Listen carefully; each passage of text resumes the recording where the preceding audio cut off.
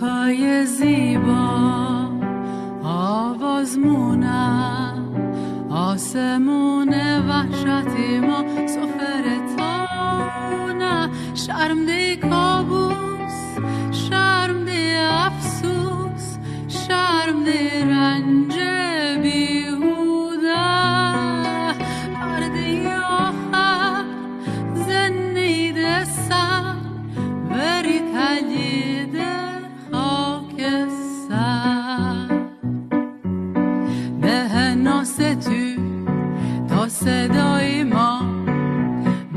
چاو بلا چاو بلا چاو چاو چاو میپریم دخواه یه شمعتا یکی یادم یا یا همه باید یا همه تنیا اما بیاریم تا فردا. ده ناستو تا صدای ما. بلا چاو بلا چاو بلا چاو چاو چاو. یا همه باید یا همتنیا روز نیا شبی فردا. میپریم دخو یه شمحتو یکم آیادم یا خاک ایگنه من خیابو خوشی خشم من تو تشنه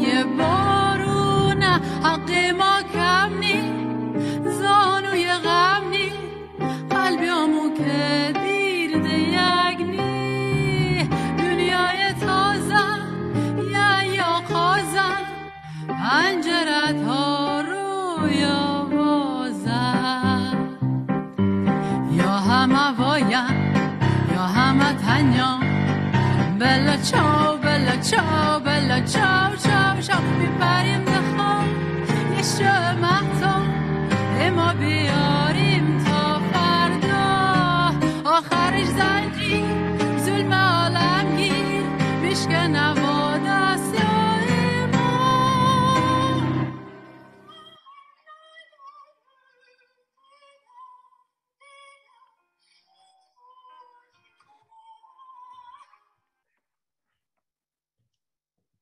thank you. Thank you, Dylan. Dear friends, welcome to our panel on the Iranian protests. Uh, my name is Yass Alizadeh, and I am the coordinator of Persian program at the Middle Eastern and Islamic Studies at NYU. As you know, this panel was rather urgently organized because we at um, Iranian Studies Initiative and Kevorkian Center at NYU thought that our community needs to learn more about the protests from a historical, literary, and judicial perspective. My sincerest thanks to our panelists for accepting our invitation. And of course, I need to mention a few names without whom this panel would have never been. Mohammed Bazzi, the director of Kevorkian Center for Near Eastern Studies, Ali Mirsepassi, the director of Iranian Studies Initiative at NYU, Aran Keshavarzian, our chair at Middle Eastern and Islamic Studies, Fidel Harfouche, Kevo's communication and program coordinator, and Dylan Tasinski, our graduate assistant. Um, I'm going to introduce our panelists, and I'm, uh, we, I'm going to start with Moniro. Moniro Ravanipour is an esteemed Iranian author living in Nevada, United States. She has been writing a large span of genres from children's stories to short stories to novels and even screenplays. Her short stories and um, uh, writing has been, have been translated to different languages and she has been published in PEN America, World Literature Today, Consequence Magazine. She has had speeches all across American universities and, uh, and the world, but her writing is banned in Iran. And um, it's, I think, I, I would like to mention that um, Moniro's family uh, has been persecuted by the Iranian regime. She, um, her brother was executed. So she is like the epitome of um, the Iranian uh, resistance um, uh, to, to me and to the Iranian community. Um, Moniro is going to present on the metaphoric, symbolic, and mythical imagery and um, images and messages within this uprising. Um, she's going to talk about that, that threat, that epic threat that connects these uh, the uprising and the actions of these women on the streets to the mythical heroines of um, Persian mythology and poetry. Our second speaker, our second panelist is Hamideh Saberi. Hamideh is a PhD candidate in global history of empires uh, at University of Torino in Italy. She studied also in Iran. She studied the history of Islamic culture and civilization in Iran and that got another master's degree. And right now she's writing her dissertation. Hamideh is uh, following the thread of feminist movements in modern Iran and surprises us with the rich history that is the base for this truly modern uprising. And finally, our, our last panelist is uh, Neda Bolourchi. Neda is the Associate Director of the Center for Middle Eastern Studies at Rutgers, New Brunswick, where she teaches on the modern Middle East. She has a book coming on the transformative discourse on Iran as sacred across political and religious spectra.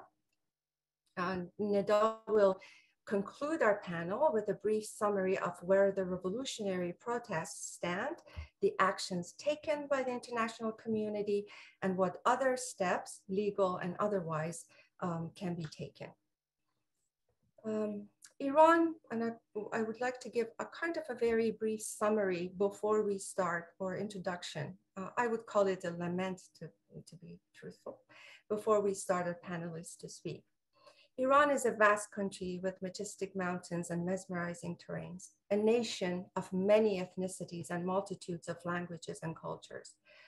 Iran, however, is not a still life painting, and neither are Iranians black dots in the distance of a photo of a turquoise mosque fixated in the Western imagination. The other day, a student writing an article on Iran asked me, What is Iranian culture? And my answer was, I can only trust what my culture is. The rest is what I read and what I read about, what I see, mm. what I hear, what I taste, and even what I smell.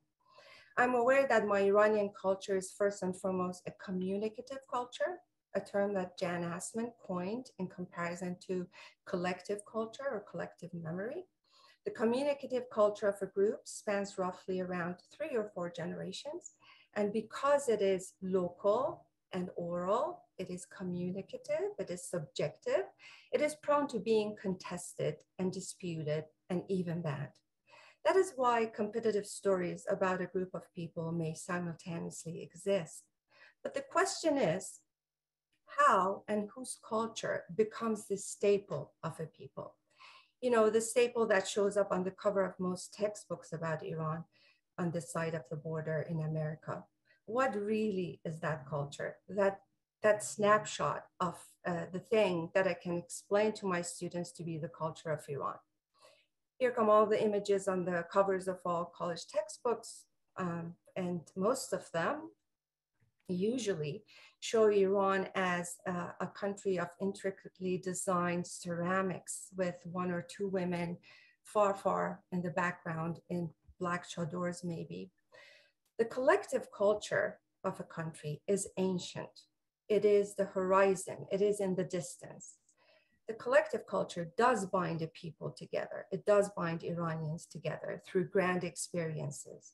But also, this collective culture, collective memory has normative power and it easily becomes performative and hegemonic, so much so that it's, it can even devour the people. It can silence the communicative culture and it becomes the official story sometimes. And of course, when we talk about stories, there's no story unless that story is told to others or sold to others. With the democratizing effects of digital media and public journalism, such static imaginaries, that you know grand narrative or that collective culture starts to be ripped open by momentary sparks of a different Iran that is um, occupying a space but unlike traditional stories about Iran, this new story invites the other, the audience, to be part of the heteroglossia of cultural expressions, political choices, and philosophical debates. We owe the change in world's response to the Iranian protests to two things, I believe. The first is the American demand for social justice, and in America and in the world. and the second to social media.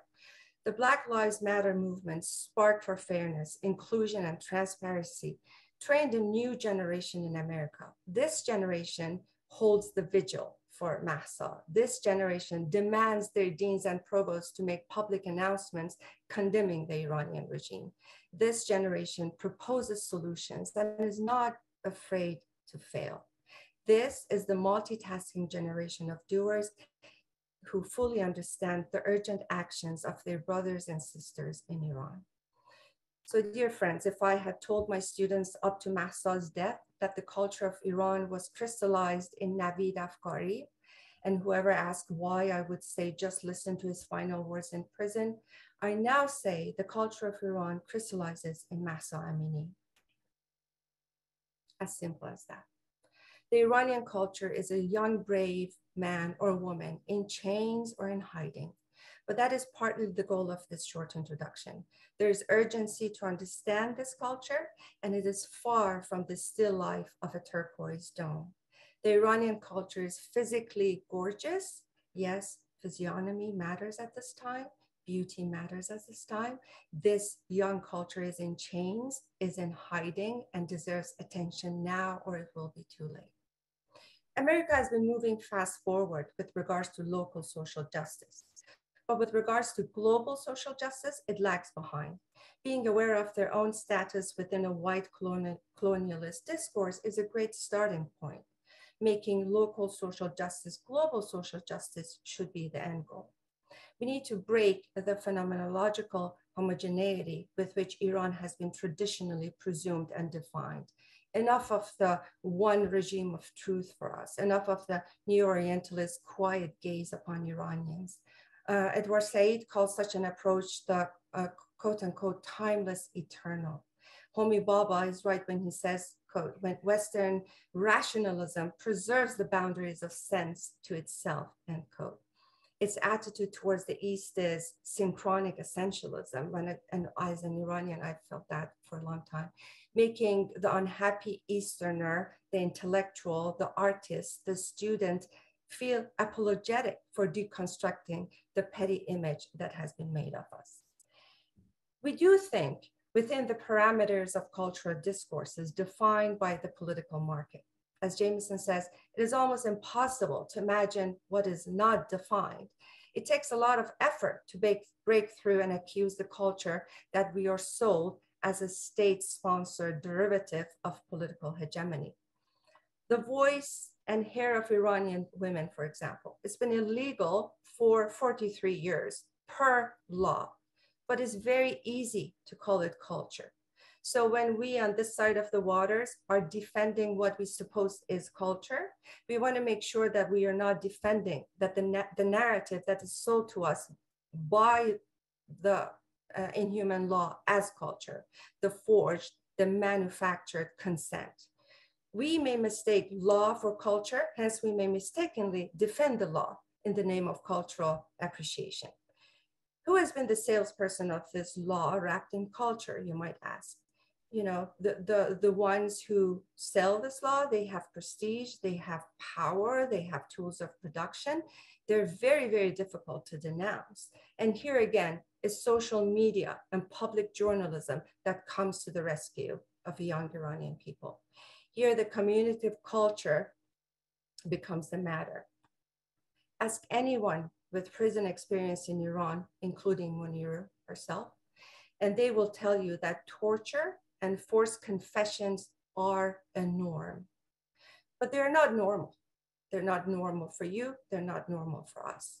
And unless we object to the quote unquote, your normal is not my normal fallacy, when it comes to basic human rights, we will have to continue bringing grotesque reasonings for our cheating on this quiz of conscience and be the outsiders silently looking in at this national uprising, which I'm proud to call a revolution. Um, I'm ending my introduction and I am opening the floor to Moniro to, so much. to speak for us. And thank you, thank you so much. And hello, everybody. I have to share my PowerPoint.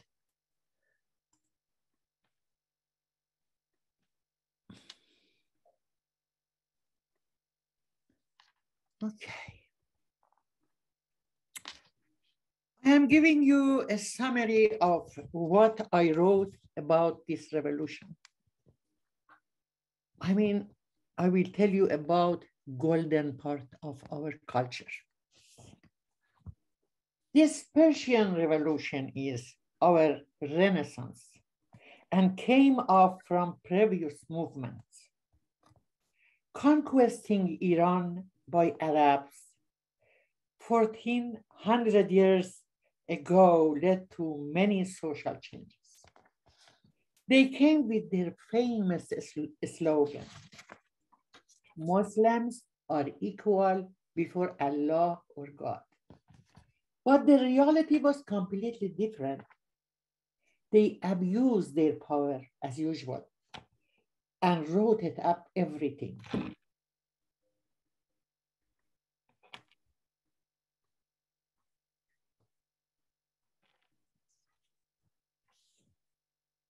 They took women as an in, enslaved person. Many political and religious group rose up. Many poets started writing. Pe people started to confront them. Groups and movements confronted hypocritical ascetic. I want to show how three poetry books are hugely affecting this Iranian revolution. The first one is Shahnameh. The second one is Rubayat Khayyam. And the third one is Divan Hafiz.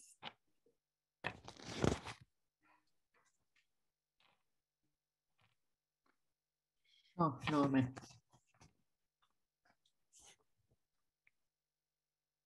The Book of Kings or Shahnameh is a long epic poem written by Ferdowsi between 977 and 1010 CE and is the national epic of Iran.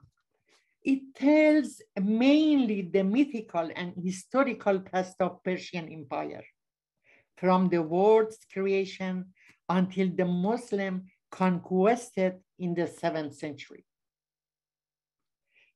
Ferdowsi, by writing this book, save our language and nation. Girls who are protesting on the street use and show many symbols of our mythology and culture, even though they might not have read the book.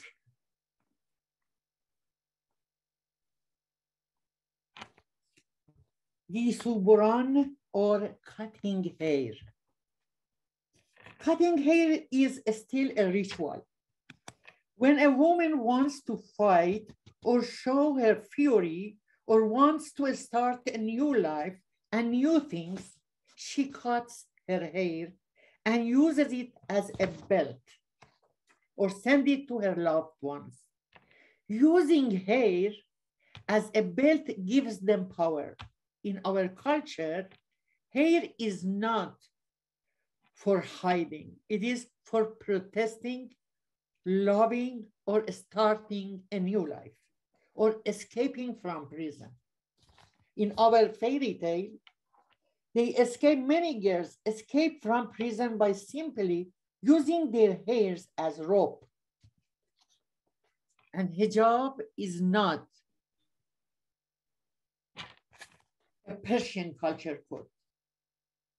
Ferdowsi belonged to a farmer family where, where women worked side by side with men. He knew that his job has not belonged to these women. His job belonged to women from the higher class. But even the, in the higher class, women wore the scarf, but it was completely different from what we see today. They wrote, they wore tool head scarves in a special ceremony, and the head covering was not black. Instead, it was colorful, depending on events, and black almost came with Muslim attack. It is not Iranian color. Even in grief, people wore white clothes. Protesting by the fire.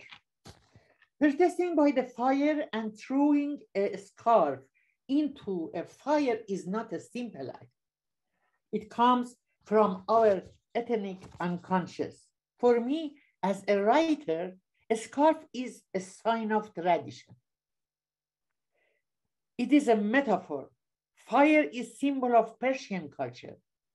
We know about Zoroastrian religions. So setting a scarf on a fire has a, special and powerful message for the nation. It says that the immense fire in the fire temple in Persia was turned off by itself when the Arab invaded the country. The girls lit a small bonfire all around the country, all around the cities. What do these many bonfires resemble? Are they together making the same fire temple that was turned off 1400 years ago? Let's talk about their slogan. Girls chanted خامنه زهات میکشمت زیر خاک Zahak is the most brutal king in Shahnameh. He has two snakes on his shoulder, and every day these snakes need to eat brain. And they kill two young people, two young girls or um, boys, and give them two brain. When they say Khamenei Zahak Mikeshamet, Mikeshamet Zirahat, I will bury you, okay? You know you can't see an Iranian who doesn't know who Zahak is, even though they don't read Shahnameh. I'm sure that most of these girls didn't read Shahnameh, but they know who Zahak is, who Kaveh Ahangar, who is Arash Kamangir. They are living with us. They are living in our heart, in our mind. They are breathing in the air. But the most fantastic characters are Gordafarid and other women who fight. Ferdowsi wrote about them in a time when women didn't have any right, rights as a human being. The Book of King, the Book of Kings help us to get back to ourselves, to find our identity again giving a title like a gourd. Gourd means, in Farsi means pahlavan, knight, champion, hero. Giving a title like a gourd, gourd to a woman, woman by Ferdowsi has a message to Iranian girl. So he wanted, I thought, as a, you know, I imagine that he wanted to warn the girls what, what might happen and how they have to face it with courage and bravery. I thought he saw these days when he was writing about Gordafarid.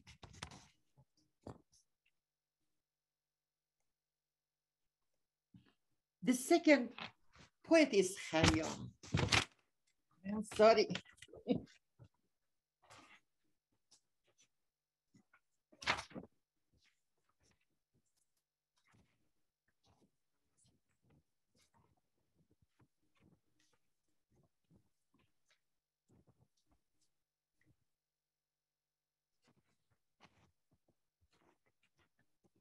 The second poet is Khayyam, nine 100 years ago.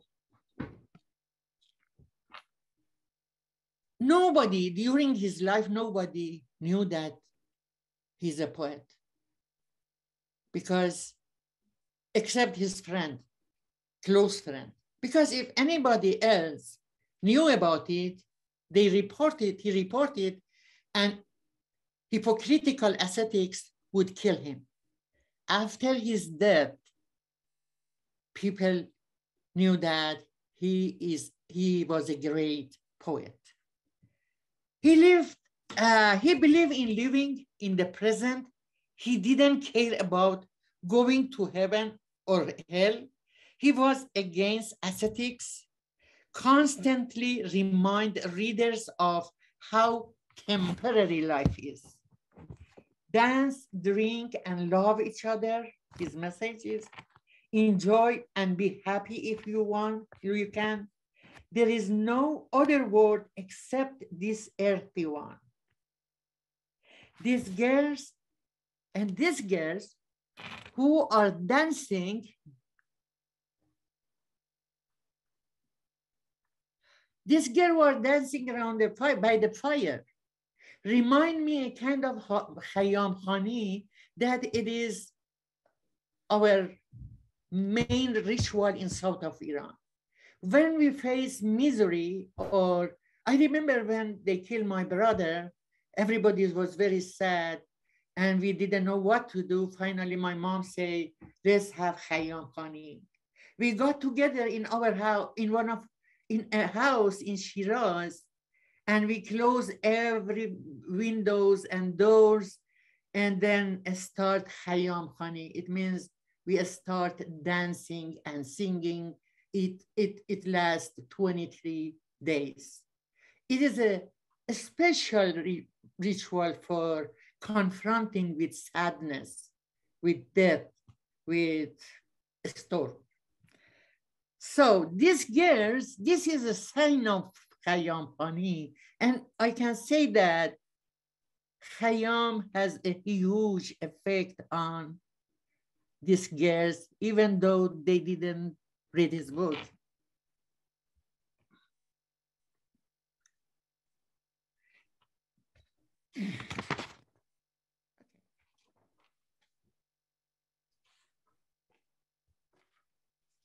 The third poet is Hafiz.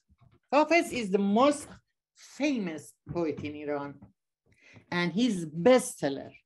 It means Iranian buy his book, his poetry more than Quran. It is strange, but it is true. He lived 700 years ago.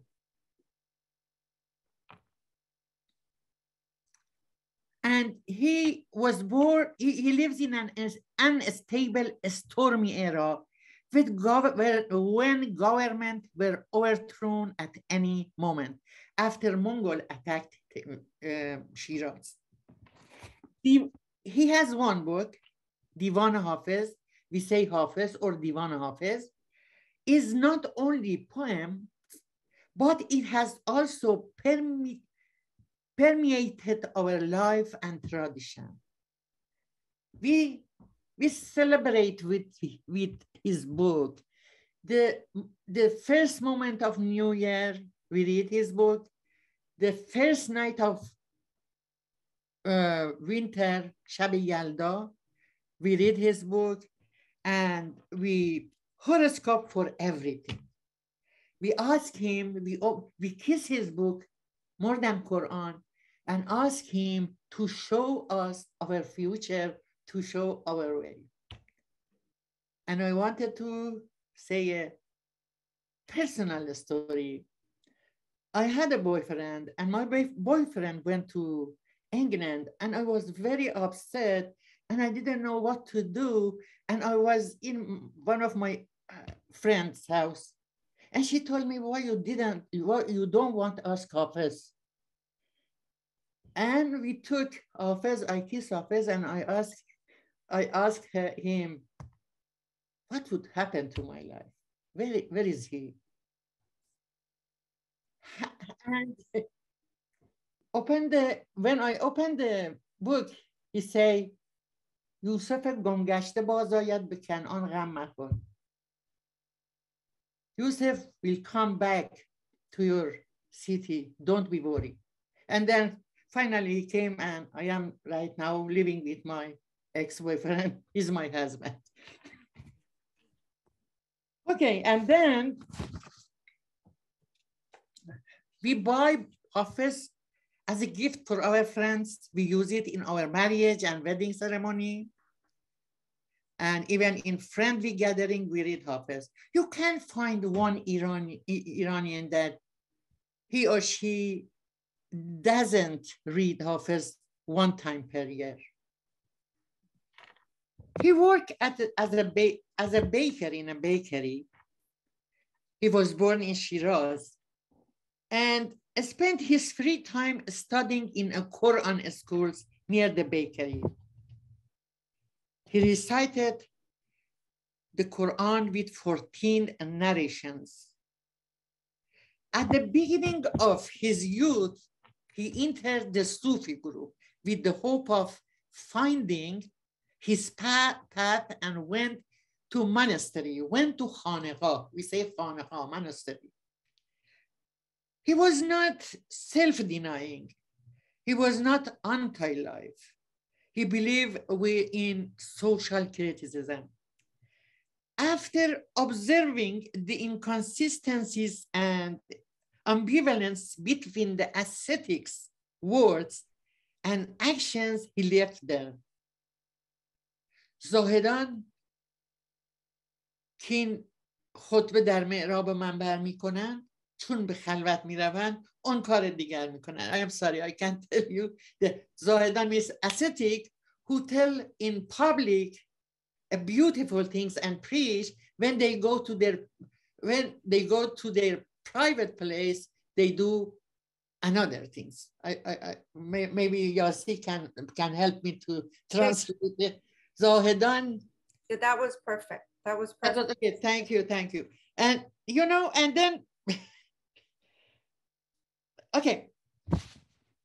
He left monastery. After he left monastery and started criticizing the Sufis. What he saw was not independence, virtue, purity, or piety or piety. Instead, he saw ration eaters, supplicant of the rulers of the time, prejudice, narrowness, superstitions, and incompetence and cultism. Hafiz start attacking, attacked, okay, this beautiful man. Hafiz attacked this hypocritical ascetic, ascetic. In his book, in his beautiful book, Divan Hafiz, there is two negative character. One is muhtasab. It's revolutionary God. You, you, you see in the news, in videos that how they, they, they arrest people, how they beat them, how, how they attack them. Revolutionary God or morality, police is muhtasab. And these guys are zahid, ascetics. He is not against Zahid. He's against hypocritical Zahid. Zahid Riyai, that he has double face. Okay. For knowing about Zahid, we can look at the situation in Iran. Look at Khamenei. Khamenei doesn't want to see reality, or reality is different for him. He pretends that he avoid worldly pleasures. He is close to God. He is representative of God on earth. He is arrogant and proud of himself. All those mullahs, this, this one, who force women to wear hijab are hypocritic. They deny killing a student. They and they they killing students and girls. They deny raping people in their prison. They always blame United States as a Satan, great Satan, and Israel for everything.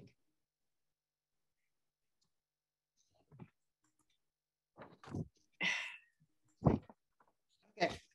This is Muhtasab, those who are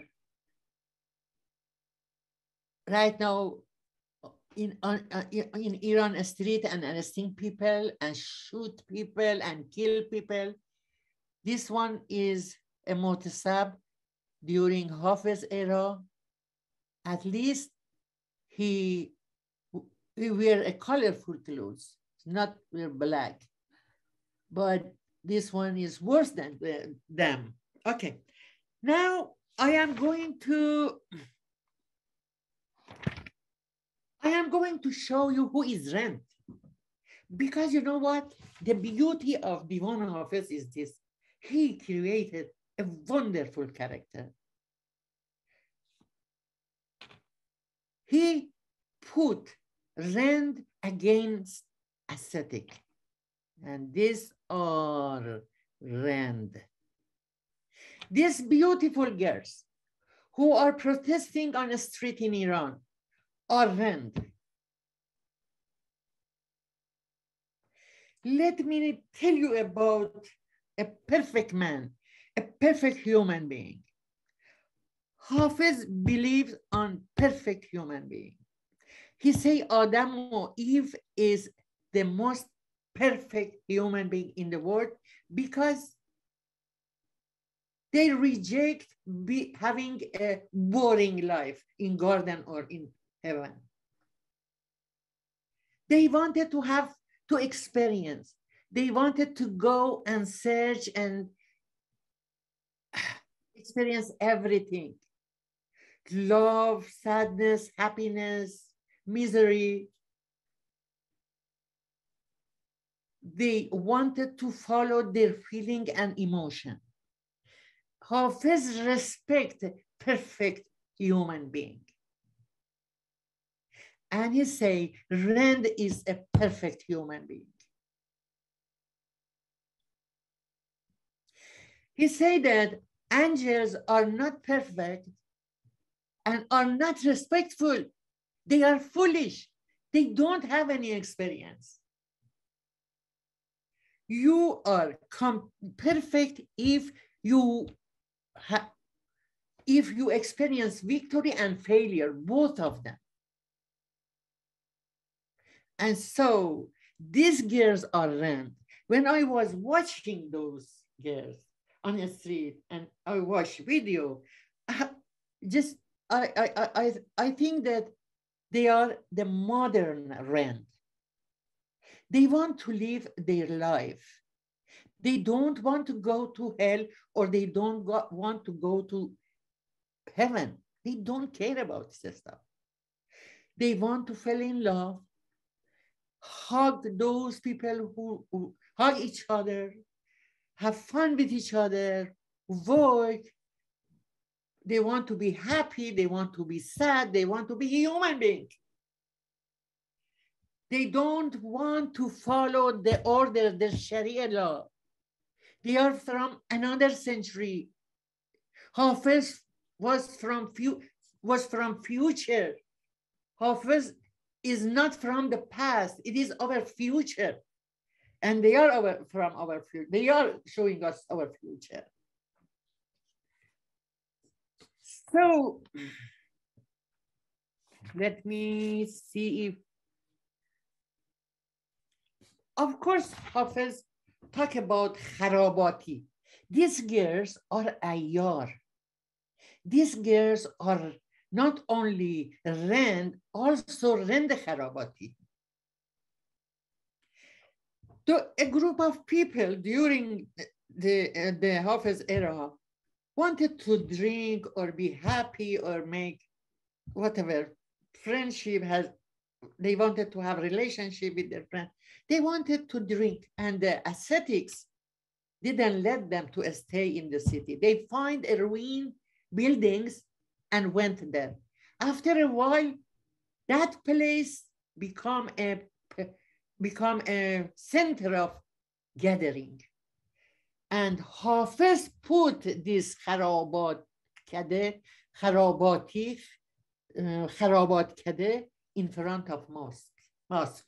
He said that if you go to Kharabat, it is much better to go to mosque when there is of hypocritical ascetic there.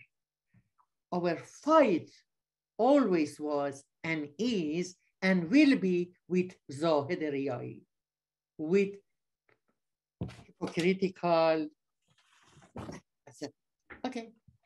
And then the last, the last. Now,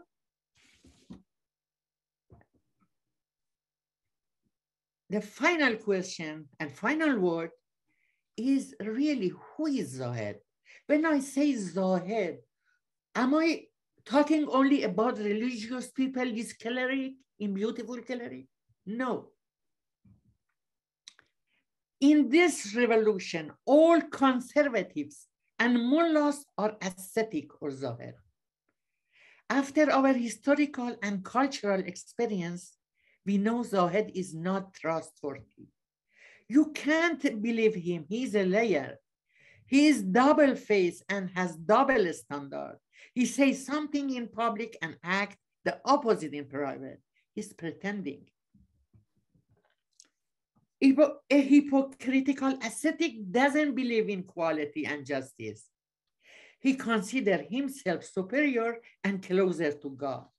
He thinks being close to God give him authority over everyone's lives and property. This uprising doesn't defy only religious mullah. Be careful. I want this is this is very important this uprising doesn't define only religious mullah. Everybody who used and abused power to, re to reach personal goal could be Zahid.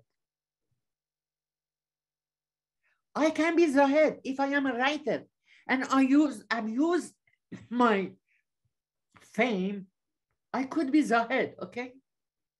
A journalist who used the demonstration as a ladder to get power, or an artist that pretended she was an activist or care about human rights, but she only care about herself, everybody with a double face, one for public and one for private, is a hypocritical ascetic. Thank you.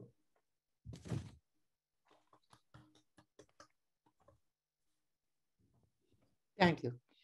Thank you, Monir John. I think there's one uh, beautiful uh, uh, slide left that we could look at. The last one, number 14. Oh, oh, oh, I am, I am sorry. Yeah, this is. I love that. This picture. is Rends. Yeah, this is Rends. Yeah. yeah. This is Rend Kharabati, Rend Kalandar, Rend. Oh my God. You know, Hafiz has, has a beautiful definition for these girls and young boys. And I am working on my paper. I will publish it on my newsletter very soon. Every Sunday I publish in English.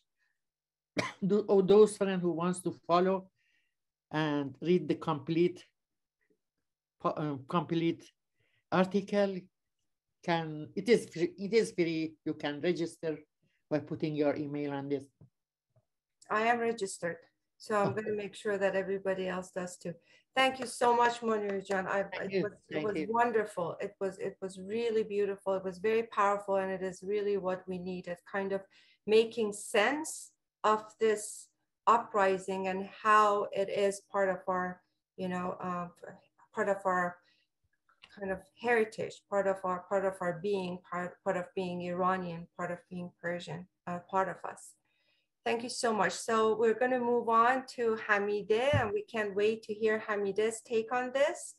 Um, while Moniro focused on the literary aspects and the epic aspects of this uh, revolution, Hamideh is looking at um, the history of feminism in um, modern Iran in the past hundred years or so. Thank you so much, Hamideh.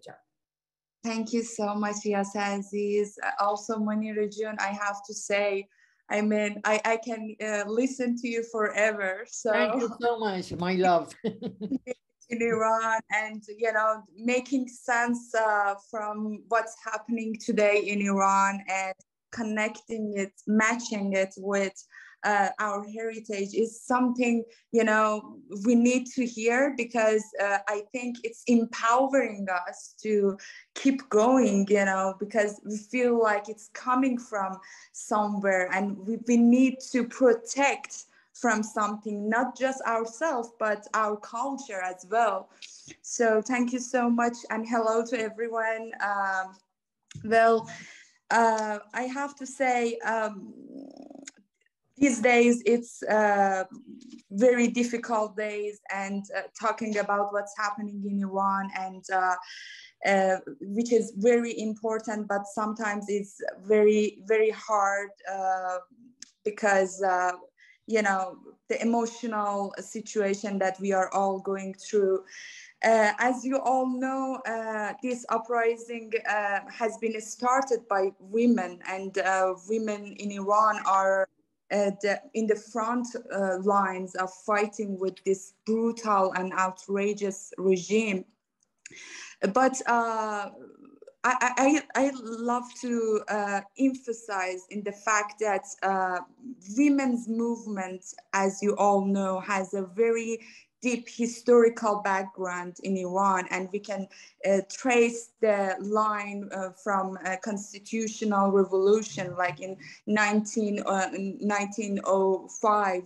Uh, that women has officially started to by making uh, you know different uh, let's say movement from a small association to, uh, to, to, personal fighting, uh, to stand against this um, religious patriarchal system. And uh, you know, for instance, and, and, and it's important to know that women in Iran historically have always, always been radical in facing with this patriarchal religious system. For instance, just uh, some uh, example we can um, uh, mention to the documents that telling us uh, that at the end of the Qajar dynasty uh, and also during the constitution revolution, uh, um, women's women start to fight against forced hijab. And not just uh, those women, those known women that we heard of, like Tahira Qurratul Ain, who removed her face uh, veil, or Shahnaza Azad, who called the hijab a superstition in uh, her magazine in 1920, or Fa- uh, Fakhra Afaq Parsa, another journalist who uh, invited women in her art uh, in her article to remove their hijab in 1921 or Sadiqa Dolatabadi, who is a very well-known uh, feminist, uh, uh, you know, one of the pioneer who introduced hijab as the main reason for eliminating women from the society, but also uh, anonymous women uh, who actually demonstrated on the on the street, shouting that the uh, revolution promised us as a women the freedom, so we should be free from uh, religion. But you know, most of the time we don't see or hear these voices uh, in the history, since, as you know, history is written by men about men and for men, for men mostly. And we cannot hear these voices, uh, women's voices, are resistant against the patriarchal system more often. Rather, patriarchal system is the one trying to minimize women's agency because it's easier in this case to oppress and disempower women and presenting women as the weaker sex.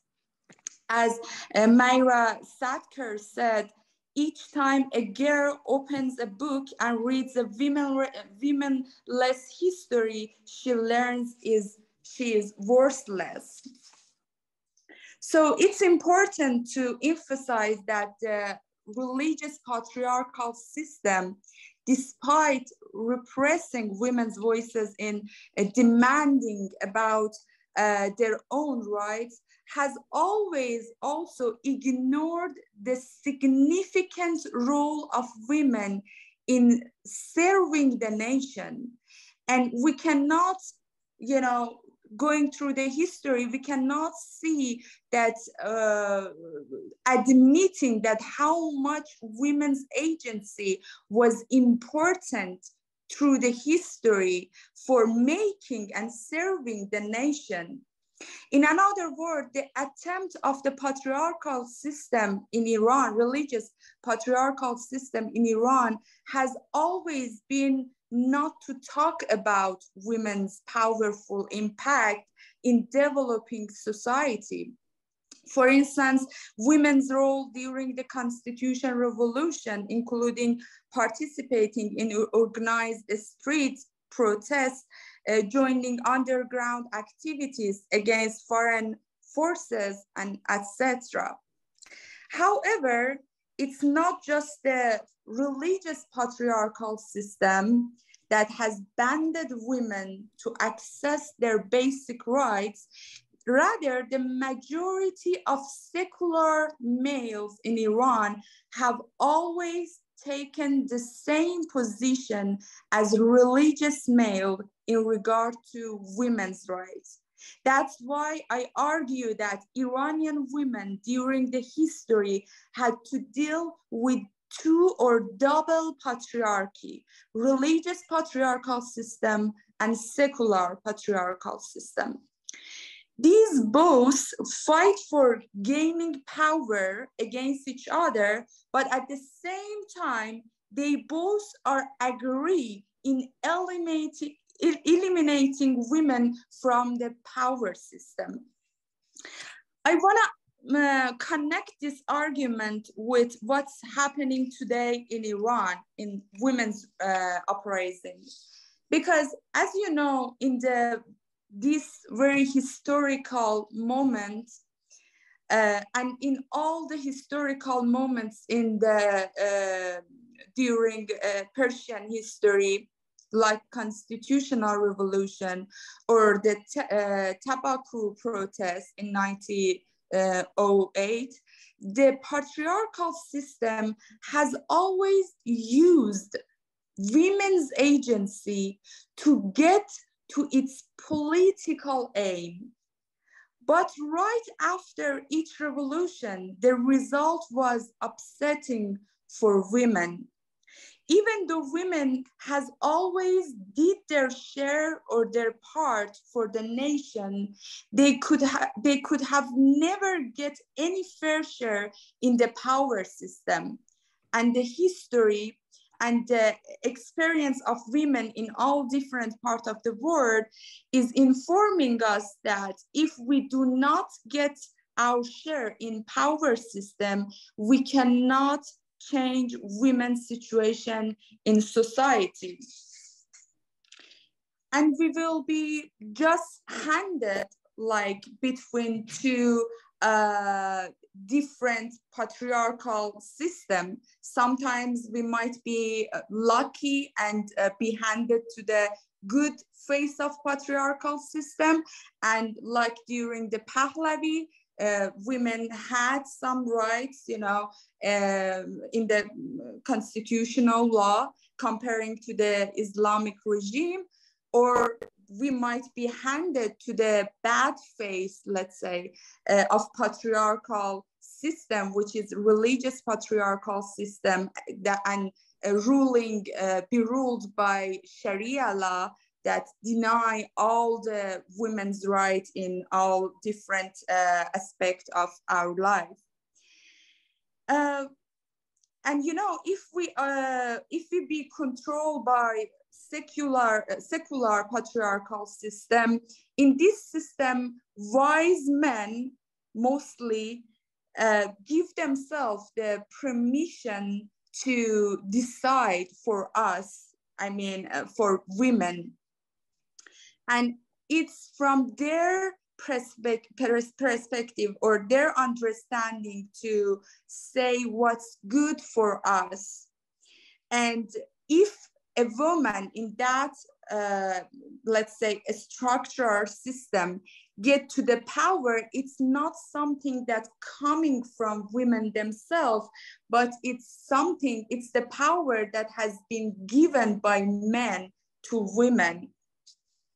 And that's why it, they, it can be changed or influenced very fast as we experience how fast they could actually take so many rights uh, and, and, you know change the women's situation from Pahlavi to uh, you know Islamic regime. It was just with one fatwa, you know, just one fatwa changed the women's situation in Iran uh, completely. So that's because mostly women themselves didn't have the power in the system, the power that came uh, from women themselves, not uh, a power that has been given by a man.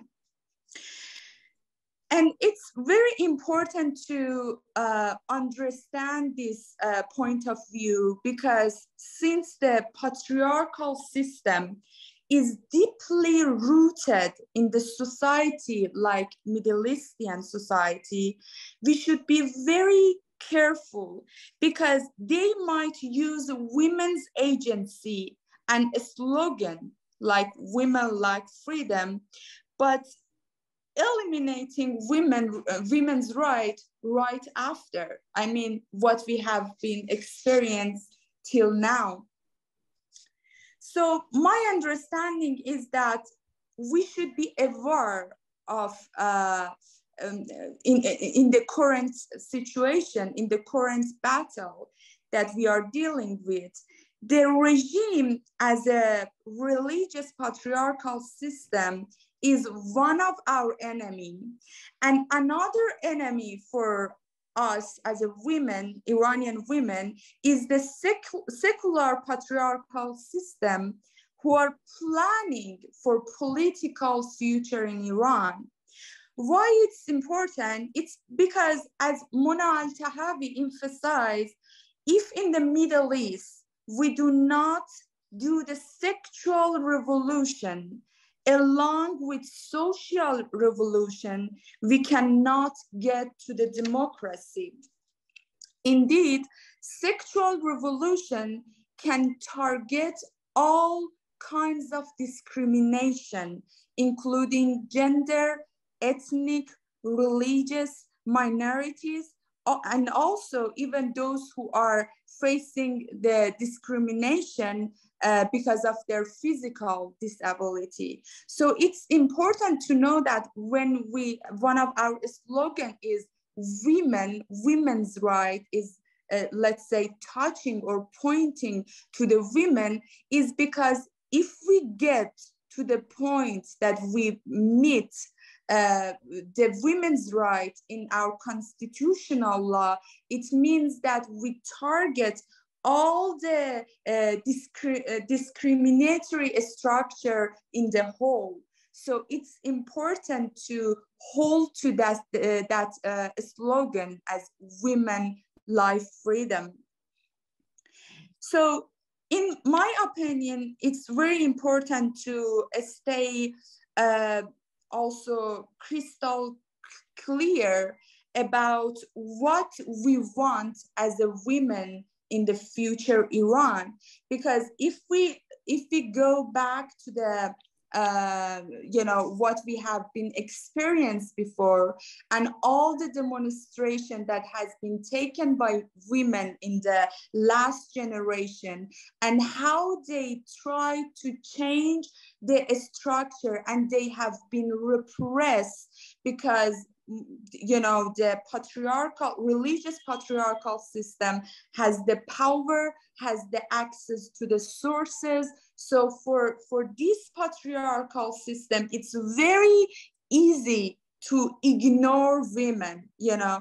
And the secular secular patriarchal system is very smart in taking the agency of women and then after meeting what they want after gaining what they want you know eliminate women or ignore women uh, you know afterward. So now that we are in the uh, let's say mm, uh, in in the during the the process of uh, revol women's revolution it's very important to use our experience and remind ourselves that we as a women have to be crystal clear about what we want in the future Iran. And this is this is our duty today, as I uh, argue, to say that we want the same share in politics, uh, in the wealth of the nation, and in the uh, and the same participation in every aspect of ruling our country, including writing the constitutional law. Because if uh, they get uh, to the point that's, uh, you know, uh, saying that uh, stopping us from um, uh, raising our voice about what we want. In this stage, we should be sure that they can actually uh, hide us or shut us down after the revolution. So it's very important in this stage to be very clear that this revolution it's not gonna actually um, uh, experience uh, uh you know uh, what happened to us before but we want to make sure that in this uh, current experience, we will not lose any, uh, actually any rights in our future Iran. And uh, also we need to make sure that nothing and no one will push us backward. And based on our experience, any retreat is going to hurt us, you know, because we have we have heard so many times from uh, as you know the patriarchal system has a very different and tricky discourse to hide our voices so we should be aware that in this time uh, it shouldn't be any let's say retreat uh, in our negotiating with the patriarchal system. Uh, and you, you know because uh, I, we all heard that during the um, uprising uh, and after the um, uh, when the slogan of women life freedom gets uh, got very popular there were some uh, people trying to you know add something to this slogan. But this is important to know that anything that can affect or influence this slogan to, uh, let's say, uh, uh to, um, mm, uh, how do you say, to take the, uh, this, uh, the important less than it is, it's actually a trick for us to change the road and actually tricking what we want uh, in our future. So the, uh, the very last point is that this slogan can help us to guide the all the political ideology in tomorrow's Iran and uh, present to them what we want and what we are looking for tomorrow's so they can be uh, actually very aware of how they should handle uh, their political party. And uh, as a suggestion, I think in this very historical moment, it's very important for uh, politician, women's politicians in Iran to get an action and try to um, do something like uh, uh, arranging a women's party in sense to uh, support our political uh, position in tomorrow's Iran. Grazie. Thank you so much. Thank you so much, Hamideh. That was wonderful. Thank you. Um, I learned a lot and I really enjoyed your talk and I'm sure everybody else as well. Uh, very interesting points that you um, uh, talked about and definitely um, food for thought. Um, that this is, we don't want this moment to be a fleeting moment. We want this to be uh, to be the basis for a future that we are building. And uh, so uh, this this kind of the feminist idea, if we could, or woman's idea, whatever you want to call it, um, is, is important to the future of Iran. And um, um, I would think 43 years and counting, but as you said, more than that, a century, longer than a century and counting. So um, thank you so much again. We'll definitely go back um, to your uh, presentation and also to Moniro after we have Nadal speaking. And definitely people will have questions and we're going to have a dialogue on what you said and what Moniro presented. Thank you again, Hamideh. So before further ado, we'll move on to um, Neda Bolourchi. Neda, the floor is yours. Great. Thank you so much for having me, Yass, and to NYU and the Kevorkian Center and the Iranian Studies Unit. Uh, it is a pleasure to be back, uh, even under these circumstances. Um, today, I'm just largely uh, wanted to sort of summarize where we are in the in in terms of um, the the things that have been done within the international community over the course of the last five weeks and, and in particular, maybe the last week and what's possible um, and a little bit more um, in terms of um, where things can go. Um, and I think, as most people know, the first two weeks of as these protests were ongoing, um, with Iranian women and their allies fighting and arguing and dying in the streets and jails across Iran, the international community was largely silent and sat on the sides. Um, and this was despite the obligations of the Islamic Republic under the International Covenant uh, on Civil and Political Rights, which is a multilateral treaty uh, that does uh, that the Islamic Republic has signed on to. And I think it's important um, when we're talking about the international community to remind um, individuals and uh, governments uh, of particular laws and so what we have is, and this is not exhaustive at all by any means, I've just picked one treaty um, and a couple of its articles to sort of press uh, the extent to which uh, there are violations. Uh, for example, Article 21, under Article 21, Tehran should halt the use of lethal force and unlawful suppression, uh, as well as violence against protesters. Uh, under Article 7, it should stop subjugating its citizenry to torture and cruel and unusual and degrading treatment or punishment. Uh, I would argue that this, of course, includes the re education centers that uh, individuals under the age of 18 are being sent to, as admitted by the Minister of Education himself.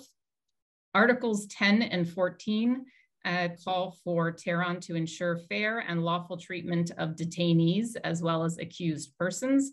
So this means that even if the Iranian government is saying that the protests are not protests, but they're actually riots um, that are incited by individuals uh, using illegal means, including Molotov cocktails, or that they are otherwise attacking military institutions um, and therefore the Islamic Republic in theory is justified in its actions, right? Articles 10 and 14 would say that even though those might be accused persons, you are to treat them fairly and lawfully.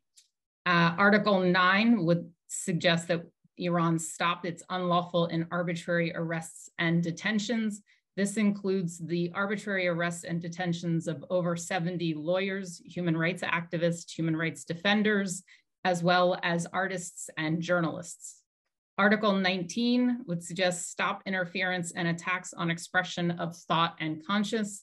Again, peaceful demonstrations, peaceful statements, and peaceful nonviolent actions are protected by Article 19. Um, so in these six weeks, but in particular, those first two weeks, the international community didn't take steps on the International Covenant of Civil and Political Rights. Um, and uh, what we did see is a very nominal step by the Biden administration, um, again, sanctioning Iran. Uh, it sanctions seven individuals, uh, senior individuals in security organizations who probably have not left Iran recently and probably will not leave Iran recently. Um, so again, I called these sanctions of seven individuals nominal. They are individuals at the morality, five institutions, the morality police, the Ministry of Intelligence and Security, the Army's ground forces, the Basij resistance forces, and then police forces um, have been sanctioned. And so as the weeks have gone by and the numbers have continued to climb, uh, estimates on the low end suggest now that more than 240 Iranians have been killed, over a thousand injured, 5,000 arrested, and 23 children murdered. Um, and at the end of September, UN Secretary General Antonio Guterres uh, basically all he did was call on Iran to stop, quote, using disproportionate force and to allow an investigation into Jina Mahsa Amini's death. In the last two weeks, uh, there have, because of uh, human rights activists, social activists, Iranian activists, more pressure on international community, the Biden administration, the Canadian government, um, as well as Northern European and Scandinavian countries, um, particularly their women expressing solidarity with the women of Iran uh, who are demanding their human rights. Um, and in particular, the rights of children, um, so as mass protests have increased um, and the arrests have increased uh, last week, uh, if you did not hear, there were protests in Ardabil um, because uh, there was the attempt and an actual movement of school aged children, uh, the forcible movement of those children from their schools to go and uh, sing to the leader of the country at the time being and in the protests, one 16 uh, year old girl uh, was murdered. And subsequently, her name, Asra Panahi, um, died in a hospital from the injuries she sustained. And a man claiming to be her uncle appeared on state TV uh, saying that she died from an inherited heart condition. Um, famous Iranian soccer player Ali Daei has come out and said he thoroughly disagrees with that, does not believe it. Um, and so there is now a soccer, um, there's been an ongoing soccer sort of conflict there. As a result um, of uh, so much activism on the part of Iranians, heritage Iranians, Iranians in the diaspora, and particularly in technology, um, as well as across uh, different other professions, law and academia, the United Nations Human Rights Office has come out and made a statement um, through its spokesperson, uh, Ravina Shamdasani, uh, who did say that 23 children have been killed, scores more injured by security forces using live ammunition, metal pellets, and fatal beatings, um, that schools have been raided and children arrested, um, and she has, as the spokesperson, uh, again reiterated um, human rights treaties that have been accepted by Islamic Republic, and that Tehran does have an obligation to protect children's right to life. It is a fundamental right accepted by the international community. There is no cultural exemption on that, or what other phrase anyone wants to use um, and that under its obligations, she continues in her statement from the UN Human Rights Office on, uh, to say that Iran is to respect and protect the children and their right to freedom of expression. And again, peaceful protest. 16 uh, year olds do not appear to be throwing anything or have guns. Um, we can talk about sort of the limitations on um, armed weaponry in Iran if you want. Um, and so, and in particular, then uh, with the what appears to be the forced uh, deportation of Elnaz Rekabi from Korea back to Iran, um, the UN human rights uh, spokesperson has again stressed that uh, there are numerous ongoing violations, including arbitrary detention, um, and violence against women for what they are wearing. Um, and she stressed in not so many words the need for Iran to respect bodily autonomy.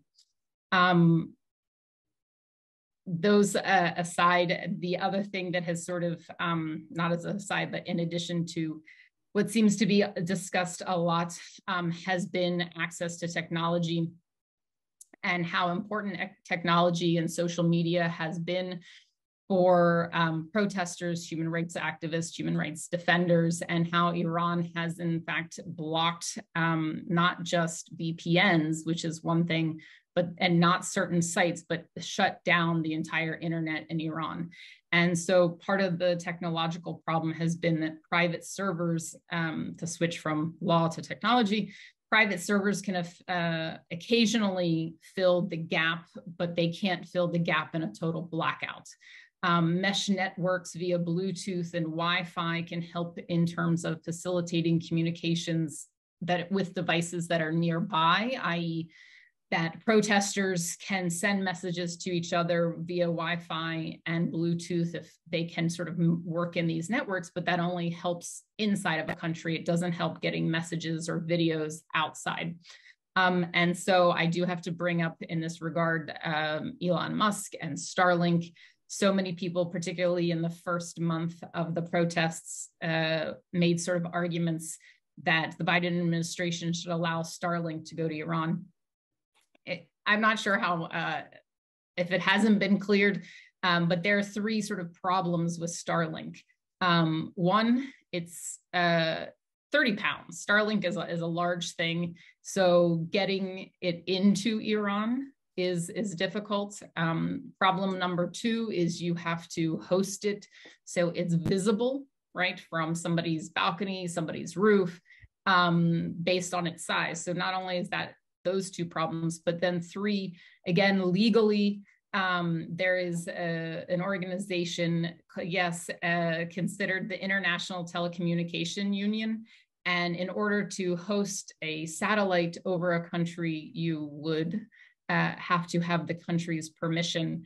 And this is, even if we figure out the solutions to one and two, um, and this is the major difference between Iran and Ukraine, is that Iran would not give permission to have satellites overhead, uh, whereas Ukraine has given permission to have satellites overhead. Um, and and so this is right. The the there I see a question in sort of transnational social space. I'm not I, based on the International Telecommunications Union. Pretty sure legally um, that Iran has to give permission for those satellites to be overhead. Um, where that leaves us is um, you know a total blackout is very costly. It's it, it, it there's a huge uh, hit to total revenue. Um, but the problem with that is iran is not that ingrained in um, in terms of uh, being on the internet. It doesn't make so much of its money there. Um, and so uh, it can it can't fully continue total blackouts and and there might be attempts at um, more at selective filtering and so with selective filtering, that means it, that's a great opportunity for advanced VPNs um, and private servers to come into play.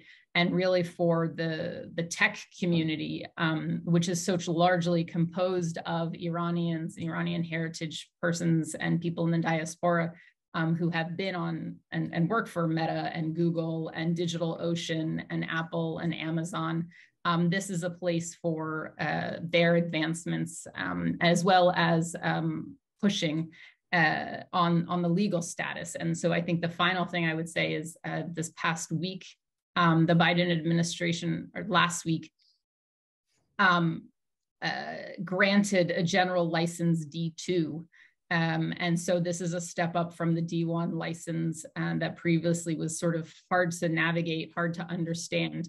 Um, and under the D2 license, uh, Iranians do have increased uh, access to the internet um, through, as well as exempted services and hardware, um, in particular cloud storage programs. So if you um, can access the internet in those moments that it's not being blacked out, but filtering moments, it means that there's cloud storage out there to put photos and videos and voice messages on um, and, and so that there is still a mechanism for um, keeping in touch and, and that the D2 license does help. Essentially can help. Um, so that is um, sort of my where we have been um, from the silence of the international community to smaller um, steps that are helping through uh, technology and the law. Thank you so much, Neda. This was this was such a such an awesome kind of culmination of our you know, literary, historical approaches to this protest. And it was so necessary. And I, again, I learned so much and I was jotting down all these articles. So, um, you know, let, let me start from, from the end and then go back. And then if, um, you know, the audience has questions, please, um, you know, we'll, we'll ask Dylan to let the audience ask their questions.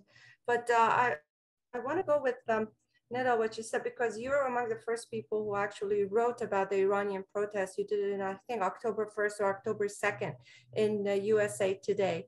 And so it's been a while, it's about 20 day, 20, yeah, 20 days since that, since that article was published. Uh, how do you see um, the response of the world community, um, legal, political, to um, to what you wrote about in in that day. In other words what you're about and then what happened in the us politically um, culturally academically. Do you see different if you're writing now would it would, would it be extra things to add? Well i thank you so much for asking um, because that article actually um, uh, was not the full article um, there were uh, I will just sort of say it. USA Today asked me to give them my sources and so that they could vet or confirm quotes that I had in that article um, from protesters. And um, uh, as an academic, as a lawyer, as somebody who has been on the ground and, and has fought for uh, human rights in Iran, there's absolutely no way I'm hand, handing over my sources. Um, so all the quotes from the women and men uh, who had been protesting in the two weeks prior to that October 1st article um, are not in that article. Um, and, and so there, if you think that the article is missing something or how am I making conclusionary statements, it's because the quotes were removed. Um, and I actually refused to edit it. So they edited it and sent it and asked for my approval. And I just was kind of like, that's fine. Um, so I think uh, a different outlet or uh, a different, um, you know, uh, their CBS News has been doing a very good job in the sense of, um, and I have uh, talked to Roxana Saberi, we've exchanged, particularly on the Ardabil story. Um, I think that very much uh, since October 1st, um, there is a greater understanding for what's at risk. Um, I think that news outlets are much more sensitive and, and should be um, about protecting sources, but particularly Iranian sources at this time, um, and that we as the, the scholars on one end who have been on the ground and in the field um, versus or and, and with journalists who are doing the same thing, what has to be done to protect sources um, and who are right fighting uh, so much to just have their voices heard. Um, I have a panel at Rutgers that's coming up, um, and one of my protesters, I said, I you know, I'd like to invite you if you want to speak, and she is ecstatic to to be able to have that opportunity. And so for us, it's a it's a matter of technology, right? It goes back to is the internet going to be up um, is are we going to have a connection and then how do we take care of um, making sure she's not seen or her voice isn't recognized. Um, I think that the activists, regardless of your politics, um, so many of the activists, uh, Iranian activists, at least in the U.S. as well as in Canada, uh, I have a you know a former legal associate there who's been doing phenomenal work on pushing the Canadian government um, to uh, sanction or uh, sort of withdraw their officials um, and to also push out uh, Iranian officials uh, to actually ask for the Iranian government officials um, at the highest levels to be removed and just leave uh, the sort of the bureaucratic ones, right? The lower level, the ones who would take care of visas and passports.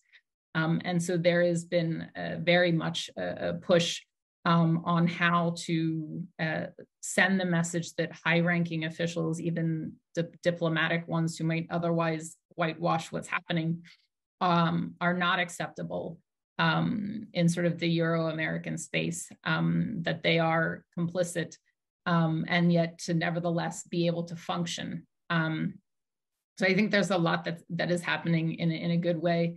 Um, I think some of the some of the activists may be a little bit on the other side in, in terms of we women want choice, they want bodily autonomy, and that should be a broad spectrum. Um, and and and so while I'm not one for hijab or uh, you know that's my choice. Um, so to not sort of lessen the voices, uh, I did have um, at Rutgers Law School um, from the Muslim Student Association uh, asked to make sure that women in hijab are heard and part of uh, any sort of protest. And, and, and to be very clear, I think there have been a large number of more conservative women in Iran uh, who have come out um, against what has been happening. Uh, they have come out um, against the Raisi government because they, as conservative women, weren't included in the government. Um, and so uh, I would uh, sort of also caution that um, the, the operative words here are choice, right? Freedom and choice and autonomy.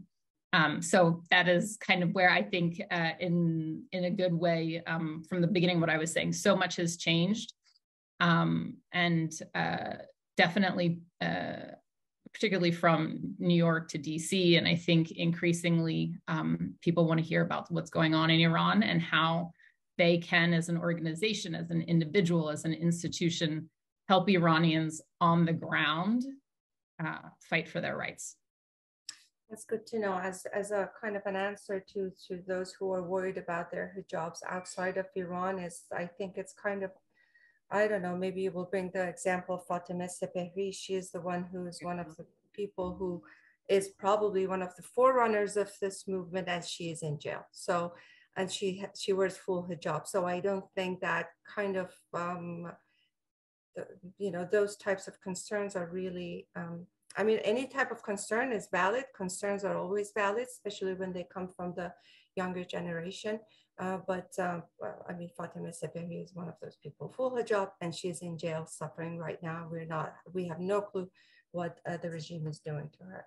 Um, so th that's that's great. I, actually, for the petition that you were mentioning, the last time I checked, 500,000 people almost had signed the petition, and uh, and that you know, considering the fact that this the people uh, in Iran they need the VPN, they don't have good internet. There's almost it's almost impossible to have a conversation with them right now on the phone because it's kind of it gets disconnected every after a few minutes whether it's on whatsapp facetime because the internet is so so weak but um still. Well i would add the one other thing i just as a as a caution um because of what you're saying um, particularly us uh, people have resorted to using their landlines um and they're not to the extent to it's it's been surprising i think to uh, numerous people in in particularly in technology um, that landlines are also being disrupted. That uh, i think um, somebody told me not since the 80s the end of the iran-iraq war have they had to use a landline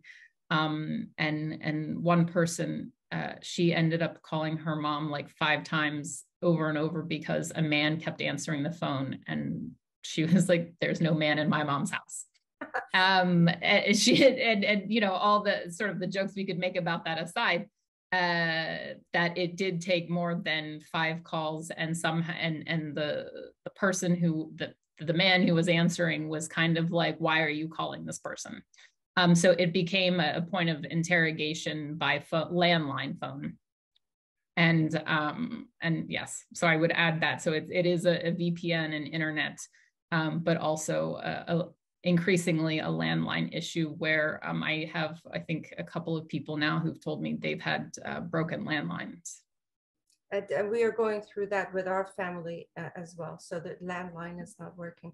But also because you were talking about how uh, unsafe it is for protesters to come and speak, that also kind of goes back to my introduction when, you know, the uh, the narrative uh, or whoever speaks right now openly from Iran is usually the people who are part of part of the establishment, such as Mohammad Marandi, who was on CNN the other day, and you know, smirking and uh, kind of laughing it off with uh, Christiane Amanpour. And that was, and I think one way to do it is at least because the Iranian protesters are not uh, able to speak because it's their life and livelihood and you know uh, we know what's going to happen um, the, the media shouldn't give uh, the, any space to the people who represent the regime but that's me.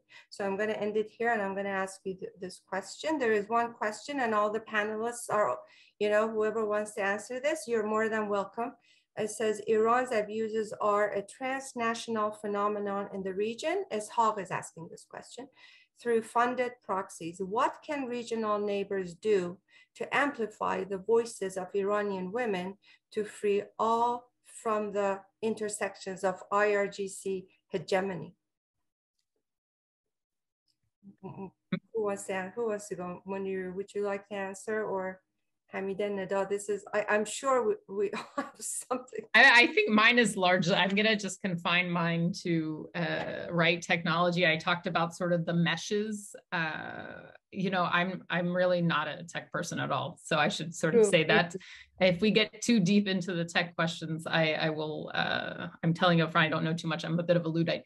But uh, I do think very much this idea of being able to set up um, these mesh networks where when a full block is not happening that iranians can access right i do think that the that the software the hardware and the services that are being allowed through d2 licensing because i know that sometimes uh, individuals will just wait wait and wait hours in order to get sort of a moment to get through so if there is cloud storage that is their mechanism to get things through I mean, I get messages in the middle of the night. They wait until, or sometimes they wake me up. But uh, so some of these things are really important. Um, I do think it is very much, uh, you know, everyone has it, it otherwise stressed the importance that this is an, an Iran movement, that there shouldn't be interference or an intervention aside from these, right? These very big tech um, kind of helps legal um, maneuverings um, and I do think that the the pressure on the there's been no I, I, can't remember if I clarified there's been no action by the United Nations Human Rights Council none yeah. whatsoever.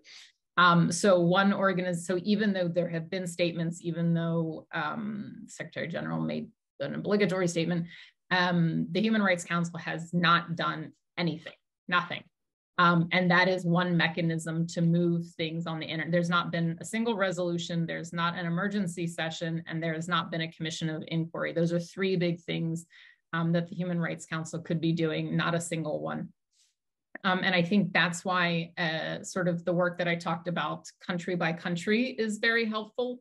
Um, because if you're not, uh, because of the political nature of many of these uh, international organizations, um, particularly the United Nations, uh, the country by country ones are very important to help sustain technology, sending the message about um, political leadership um, and, and sort of what the individual countries can do.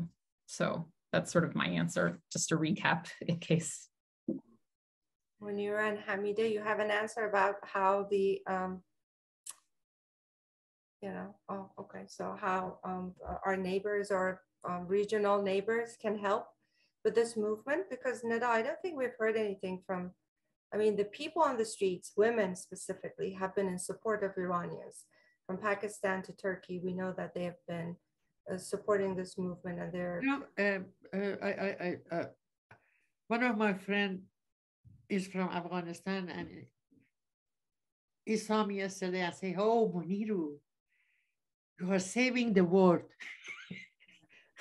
I say, what? He say, you know, if any kind of change happened to your country, it would be helpful for all of us.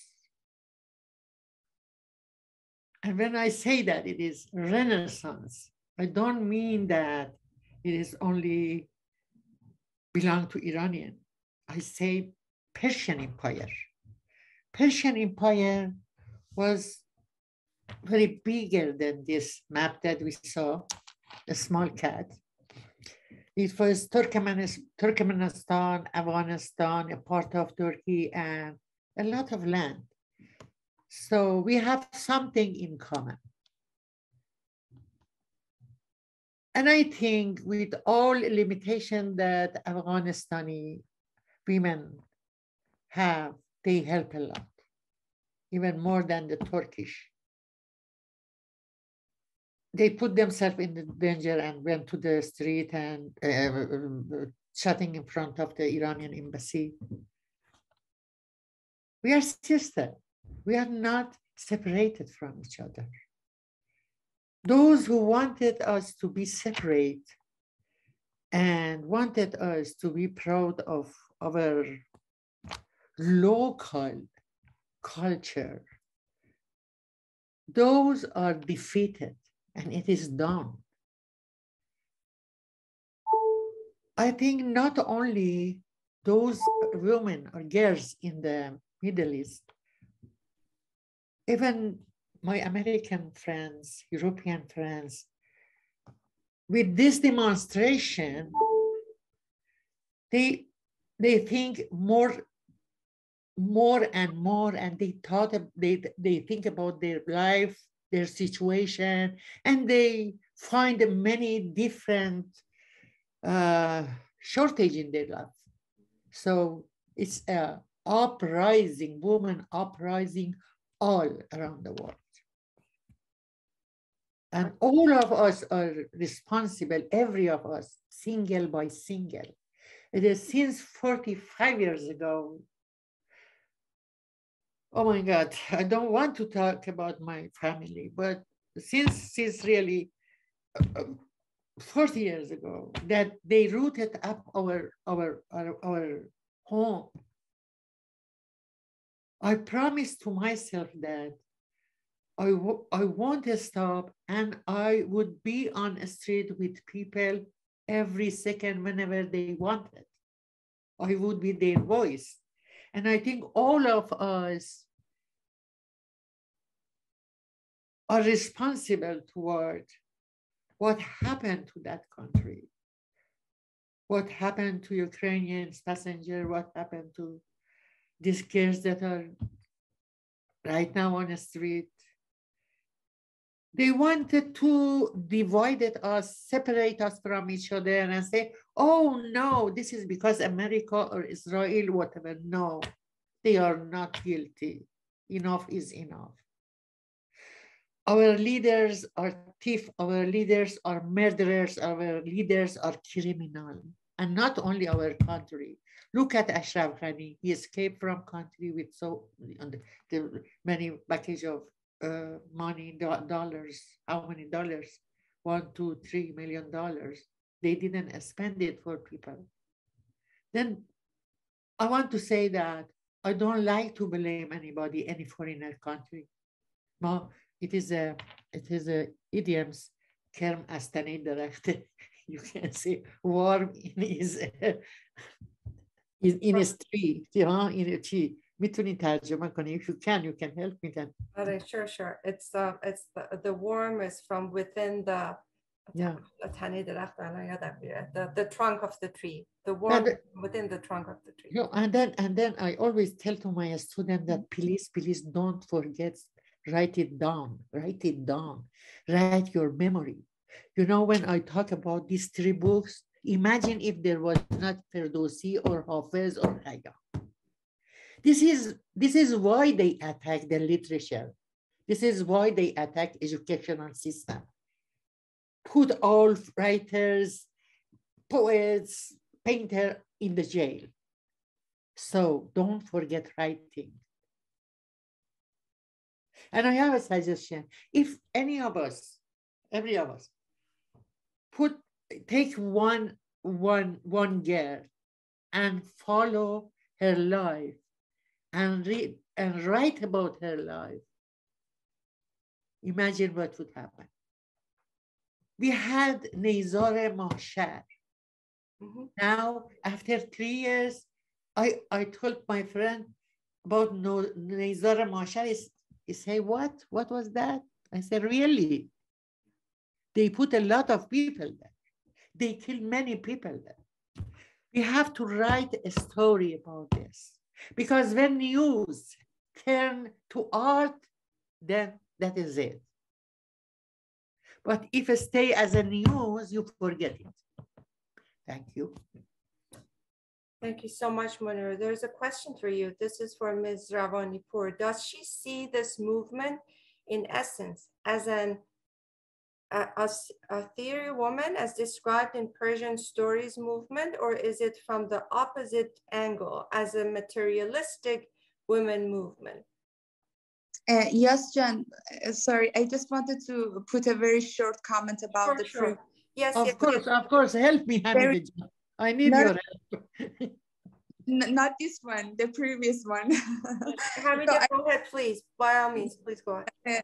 I just want to mention that it has already been uh, managed to be, uh, you know, making some connection between uh, feminist activists in the uh, area. I mean, um, we, we have the movement Feminists for Jina and um, uh, also Jina movements that has been uh, organized but so by so many uh, feminists across the neighbor and uh, I mean the Middle Eastern area and has been supported by um, and um, you know very known feminist and they are trying i think one important action that has been already taken is uh, the fact that we are trying to uh, as uh, Moniro jun and Yass as is uh, mentioned uh, we are trying to actually um, um, register the storytellers you know the, the story of the storytellers.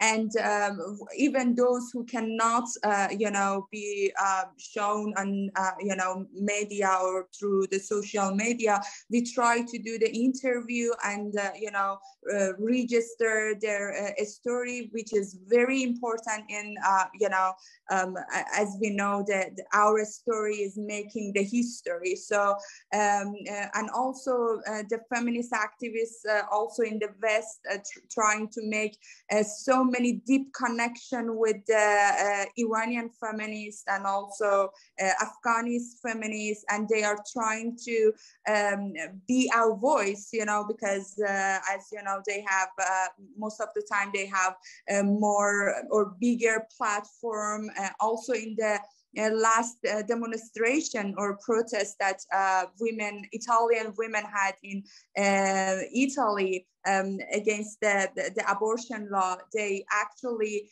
uh, took the, um, uh, the demand of Iranian women and they tried to uh, be our voices and uh, telling, uh, you know, what's happening in Iran. And, uh, um, you know, there is a, there is a very nice, um, let's say, sisterhood happening uh, between women around the world. And they are very sure and we all are agree that if this women's movement in, in Iran will affect all women's situation around the world. As uh, Mona Eltahawy uh, wrote that um, um, we have to, we need to go to our own country and see who are our uh, morality polices, you know, uh, because this, this women's movement is uh, actually let's say questioning and uh, uh, putting in the place or challenging the patriarchal system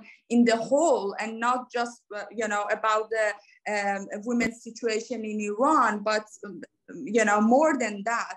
And i think with the we, we came to the point that with the help of each other i mean women from all over the world, not just the neighbor, but also Western women. We can do, uh, you know, uh, we, we, we can actually challenge the word or, or the power system, which is um, uh, actually riding by uh, men, powerful men. So I think the, the things that we are witnessing, it's very um, uh, also, I- I mean, it's painful in some ha- you know in one hand because of the uh, you know situation that women are going through in the middle east especially. But in another hand is very beautiful because women are trying to know and recognize about how much power they they have to change their own situation just by come together and you know uh, uh, participate and uh, try to uh, actually uh, collaborate you know uh, in you, you, know in, in this kind of situation together and I, I think it's already been um, so many things has already been happening. And uh, i believe that it's gonna get better and better. And uh, i hope for the very bright future for not just middle eastern women but for women in general. I agree with you. That uh, okay I, I have I, I want to mention about hazrat khadijah we connect to each other all countries in Middle East, all around the world. You know, she was 40, I think she was, she was 45 or 40 when she met the Prophet. Prophet was 25 years old. He was young, he was not famous, nobody knows him, he was not from a big family, but this lady, respectful lady, she had money, she had power, she had a great family. And she fell in love with this man, with Prophet, okay, later Prophet. Then she had a right to fall in love. She, she could meet someone. She could connect it to a man. Then we, I don't know, I don't know really a movement. It, this movement without Khadijah would be nothing. Where is the right of our women? Where is the right of our us? Who changed all these rules? Number two, Maryam Majdaliye, Mari. He was one of the closest, closest person friend to Jesus. She wrote, she wrote one of the books, holy books. And you know what? They got her book and just give the give her the title of prostitute that quit and convert to the Jesus, convert to the Christianity. And they publish her book under the another name, a man. You know, this is not new really. This, this what happened to us is not new. It is from thousand and thousand years ago. So we have we have a we have a huge responsibility. Even we can't we can't really waste one minute if we want to solve the problem. Thank you. I think that was that was a good. I, I Yes, I agree with you. I don't I don't want to say that was a good conclusion, but still we still have time and we still have questions. Neda John, you you wanted to share with us something because uh, you said something about Rutgers. Is there is there a panel that we we ah, so we do have a panel uh, that is planned for November 10th. Um, so if you are interested, so uh, I think if you have been reading about the Iran protests um, or following some of the media on it, um, Professor uh, Fatemeh Shams, uh, who does literature, but also was uh, has largely been uh, in exile since 2009 uh, and the Green Movement. So she is going, she is one of our panelists. if you are interested in the, the legal side of things, um, we do, I, I, haven't fully confirmed. Um, so we do have a special advisor. Uh, I have invited a, a special advisor um, to the United Nations on gender persecution and gender justice um, to join us, uh, as well as uh, in if that person does not work out, um, we're trying to figure out scheduling. Um, we have uh, an expert on world, the World Trade Organization um, and how Iran fits into uh, international trade and particularly sanctions and other laws that might be applicable. So I see that there are some questions um, about what the United Nations can do. What is the US government supposed to do if not interfere? Um, I think on the latter one, I've, I've kind of said the, the technology is very important. Um, and and the general licenses are very important. Um, but uh, our so I've uh, in terms of if you're interested in legal questions um, or some technology questions, both on the all on the international level. Um, one of two of those uh, people will be there in addition to um, Fatemeh Shams and um, myself. And that is November 10th. It'll be in the afternoon. I don't have a confirmed date for you, but uh, if you are interested, um, you know, I can send that out. Uh, the other thing I did want to clarify just a little bit um, when I was talking about hijab and choice is uh, I think there's a response within some parts of the Muslim as well as Iranian communities about choice and inclusion. Um, and that's all I'm saying is that some people uh, who make the choice uh, to participate and, and wear that also want to protest. Um, I'm not and particularly uh, at my university, um, that has become an issue um, that you can simultaneously choose to support women, be a woman, um, and and participate in a religion. Um, and and so I think that uh, when we talk about activists, I was just pointing out, at least on my campus, um, that there is those uh, inclusivity measures um, that women also want. Not about Sepehri or people in Iran, um, or anything along those lines. Um, so yeah, just to follow up on those two things about a panel and um, clarify what I was saying. It's awesome. Thank you so much. And I think, uh, Dylan, you might want to stop the recording or um, let me thank everybody for showing up. Moniro, Hamideh, Neda, thank you so much thank for you. your input. This was an awesome um, panel. I learned so much and it was great to hear your, um, your talks and listen to you uh, discuss this issue, this urgent issue so beautifully and so vastly. Uh, I think uh, uh we, um, we learned a lot and I think this is, this is somehow gave us some uh, kind of uh, incentive to continue the momentum and make sure that we are part of this movement and do not just forget about it or stay on the sidelines and just observe it. We, uh, I personally will make sure that I work as hard as I can in order to uh, support uh, the young people on the streets in Iran. And it's not just the young people. I shouldn't even just say young.